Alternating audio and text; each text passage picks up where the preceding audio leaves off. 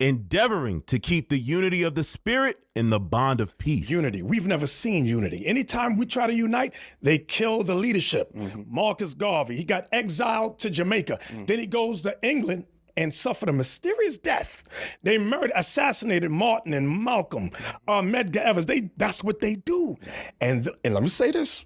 These white folks that come amongst the con- amongst the organizations, they're not there because they love you and they believe in you. They're there as CIA operatives. See, you can hey, if you Google CIA amongst religious organizations, you'll see a whole spread on them on that. And they've done it with Martin and Malcolm. They've always done it. Okay, so yeah.